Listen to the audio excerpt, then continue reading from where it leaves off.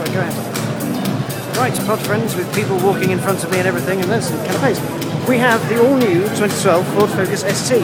Look in there! It's really yellow and looks much like a Focus. Okay, but the back is where things start standing out. Apart from the pounding bass, we've got, uh, oh sorry, we've got uh, a spoiler which looks quite big and massive, um, a bit of a mad body kit going on, and then a massive exhaust. Well, massive by. Yeah, it sounds pretty big. I like it. Um, okay, it's got a 2 litre turbocharged engine. Hello, that's amazing. Um, it's got a 2 litre turbocharged engine, 250 PS, so it's 247 odd. There's people in the way. Um, there's the interior. Look at that. Oh, you got boost bars, boost gauges, and everything.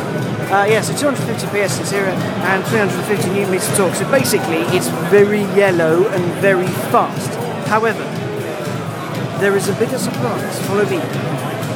There's the uh, Evos, and there's someone in the way. Right, okay. But that's not the surprise. That is here. Picture your Focus ST with a boot. How cool is that? Same power as the uh, as the hatch, just with a lot more extra space for trips to the dump and uh, and students moving home, and basically people who want a little bit of power in an otherwise humdrum existence that they require an estate for. I really like it. You should really like it. But next, while I walk in front of people taking pictures, I will go to the Evos. Anyway, enjoy.